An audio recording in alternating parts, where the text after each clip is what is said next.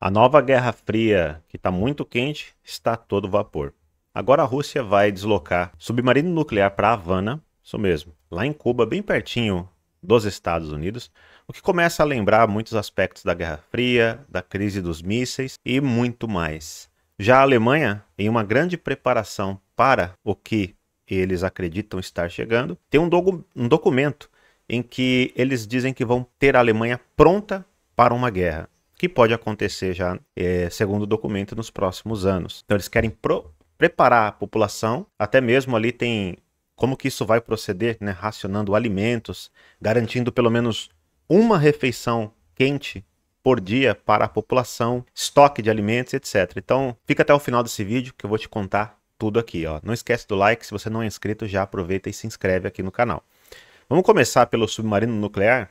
Meus amigos, eu venho mostrando dia após dia como isso está escalando e como que as ameaças estão cada vez mais é, na frente dos nossos olhos nessa preparação para um conflito para disputar quem é que vai liderar o mundo depois do que vai acontecer se eles conseguirem aplicar esse plano de uma terceira guerra mundial. Um submarino russo com propulsão nuclear, que segundo as autoridades russas não transportará armas nucleares, visitará Havana na próxima semana, anunciaram as autoridades comunistas de Cuba, no meio de tensões crescentes com os Estados Unidos devido à guerra na Ucrânia. O que, que a Rússia está fazendo? Olha, é, várias, várias ações que a Rússia tem feito agora é assim, ó. É, vão fazer esse deslocamento ali para Cuba, no Caribe, vão fazer treinamento ali, é, e Vladimir Putin anunciou também que está pensando em começar a fornecer armamentos, por exemplo, para os inimigos do Reino Unido, para que eles possam atacar o Reino Unido. Então, o que, que ele quer dizer com isso? Ó, já que vocês estão aqui na Ucrânia, estão em outras nações perto das minhas fronteiras, eu vou começar a aprofundar também e estar bem pertinho de vocês, colocar armamentos, até mesmo, quem sabe, armas nucleares perto das fronteiras. Bom, uh,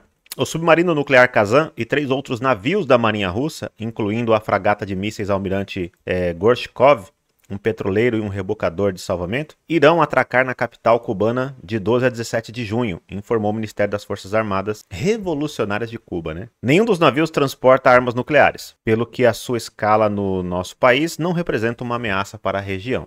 Então eles estão dizendo. Agora, a questão é a seguinte: você acredita? Você acredita que é, ali os cubanos, os russos vão falar a verdade? Você acredita em político? Não precisa ser nem cubano nem russo, né? Pode ser também dos Estados Unidos, pode ser de outra nação. O anúncio foi feito um dia depois de autoridades norte-americanas terem dito que Washington estava rastreando navios de guerra e aeronaves russas que deveriam chegar ao Caribe para um exercício militar. Eles disseram que o exercício faria parte de sua resposta mais ampla da Rússia ao apoio dos Estados Unidos à Ucrânia. E para finalizar, ó, as autoridades dos Estados Unidos disseram que a presença militar russa era notável, mas não preocupante. No entanto, isso ocorre no momento em que o presidente Putin é, sugeriu que Moscou poderia tomar medidas assimétricas em outras partes do mundo em relação à decisão do presidente Biden de permitir que a Ucrânia, olha aí, ó, usasse armas, né, os armamentos dele para atacar diretamente o, o, a Rússia, né? Então ele está dando essa resposta. Ó, durante a Guerra Fria, Cuba foi um importante estado cliente da União Soviética.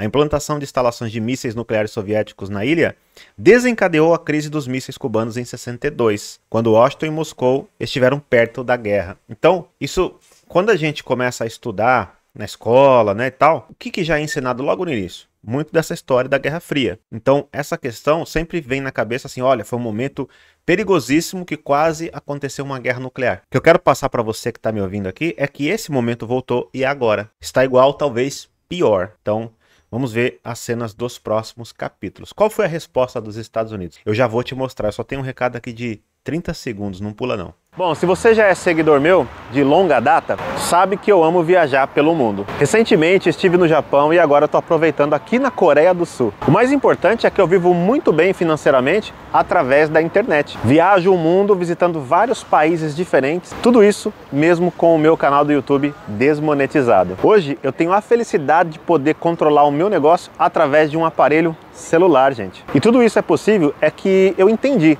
como qualquer um pode ganhar muito dinheiro através da internet. Então, no final desse vídeo, eu vou te contar como. Bem, os Estados Unidos eles fizeram um teste de míssil nuclear hipersônico que tem a capacidade de atingir Moscou em apenas 30 minutos. Isso mesmo.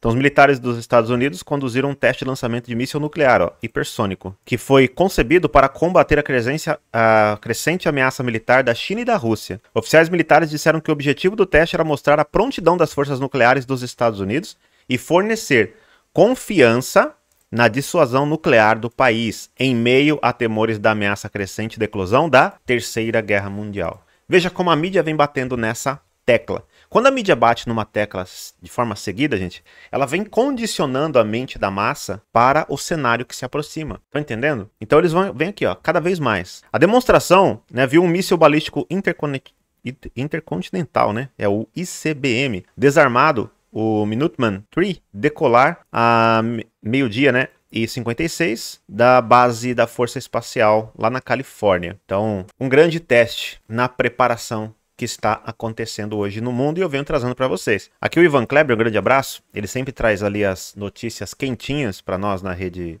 X. Segue ele lá. Ele diz aqui, ó, Alemanha. A Alemanha recrutará os jovens, racionará alimentos e transformará as estações de metrô em abrigos antiaéreos durante a guerra. Olha como a Alemanha está se preparando cada dia mais. De acordo com um documento de 67 páginas, divulgado por autoridades alemãs, que descreve como a eclosão da guerra afetará a população civil. Então veja, se existe o documento, é porque existe a, po a, possibilidade. As autoridades estão preparando e vendo como é que a gente prepara a população, o que, que a gente vai fazer, qual é o plano de contingência. Porque é de uma hora para outra, tá, gente? O governo alemão também racionará alimentos, permitindo pelo menos uma refeição quente por dia e contaria com reservas secretas de cereais para manter a segurança alimentar. Boris Pistorius, o ministro da Defesa alemão, prometeu transformar a Alemanha numa nação pronta para a guerra, em resposta à invasão russa da Ucrânia, e alertou que um conflito direto poderia eclodir em apenas cinco anos. Então, ou seja, dentro desse prazo aí, é que pode acontecer. Então eles estão num, numa corrida contra o tempo. Então você vê que já está sendo anunciado para todos os cantos, né? Ó, a Rússia afirma que em breve afirma, né, que em breve iniciará exercícios militares no Caribe, perto das fronteiras dos Estados Unidos. Vai envolver essas nações, né? Venezuela, Cuba, são essas nações que vai envolver esse grande exercício aí. A Rússia declara oficialmente os Estados Unidos um inimigo pela primeira vez, que foi até falei para vocês no, no outro vídeo. Então, para você ver a sequência. E quem está junto, ó? A China afirma que os Estados Unidos são a maior fonte do, fonte do caos mundial e a maior ameaça à estabilidade internacional. Então, é o que eu sempre digo para vocês, que é o quê? Existem dois mundos que estão em conflito, que sempre estiveram em conflito, né? E por isso, por exemplo, que existe Coreia do Sul e Coreia do Norte, existiu Alemanha dividida, né? Quantas nações divididas, ou quantas nações aí tem. É, uma das grandes disputas, se você olhar, por exemplo, para a Ucrânia, qual é a grande disputa ali?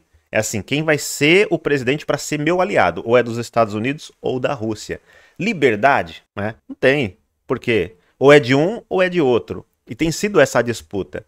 É lógico que, se você pensar na questão do capitalismo, sempre foi melhor estar ao lado dos Estados Unidos né? Onde pelo menos as pessoas têm liberdade de pensamento, né? Liberdade aí. Hoje isso está piorando e piorando muito. Você vê o Brasil, que já não tem quase liberdade. Vai escrever alguma coisa aí na internet, falar sobre determinados assuntos e você vai ver a Polícia Federal no outro dia dentro da sua casa. Por quê? Porque as pessoas que hoje estão na frente dos Estados Unidos e estão por trás no governo oculto, elas têm o pensamento igual a esses comunistas. Tá entendendo? Então o mundo hoje está sendo disputado por esses dois pensamentos. Qual é bom? Nenhum dos dois. Estão entendendo? Nenhum dos dois. E é por isso que quando aparece um político é, sincero, que está ali, é, que é antagônico, né? Ele é contrário, totalmente diferente do sistema que está. É, se os caras precisam for aí, né? O, o, o, sistema bruto elimina o cara. Então é preso, tá né, acusado, é fake news o tempo inteiro contra, é, buscando plantar o ódio nas pessoas contra esse candidato, contra os seus eleitores. É assim que tem sido feito. Então, o, a definição final, realmente, quem vai dar desse mundo é Deus, gente. Esperem em Deus, lutem hoje, né? Nós temos tem pessoas boas para entrar para a política e tudo, mas não vai ser dada a solução que nós desejamos. Quem vai dar essa solução é Deus. Então esses mundos estão em conflito para ver quem é que vai liderar o mundo pós esse grande abalo que eu acredito que no ponto que nós estamos talvez seja inevitável. É só olhar para a história, ver o que aconteceu na Segunda Guerra Mundial antes, durante e depois, e você vai ver é, como que o mundo está hoje e para onde estamos caminhando, tá certo? Bom, Como eu te prometi, veja o recado que eu tenho aqui para você. Qual país que você sonha visitar? Ver as pirâmides do Egito, viajar para Ilhas Maldivas, ou ir até o Japão como eu fiz e comer a comida japonesa direto da fonte, ou até mesmo aqui na Coreia do Sul que também tem uma comida deliciosa. Como eu mencionei no início do vídeo, o meu canal hoje ele está desmonetizado. E se eu dependesse dele somente para sobreviver, viajar pelo mundo então não seria possível.